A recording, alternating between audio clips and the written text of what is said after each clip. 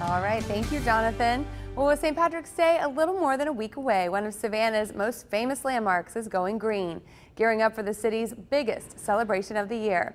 Yes, it is time again for the traditional greening of the fountain in Forsyth Park. The St. Patrick's Day Parade Committee is hosting the annual event that started decades ago. Now, the Grand Marshal and his aides, along with hundreds of spectators, are expected to turn out to kick off the St. Patrick's Day festivities. It all happens today at noon in Forsyth Park in Savannah. The event is free and open to the public. The water will be dyed green for the duration of the season until after the parade on March 17th.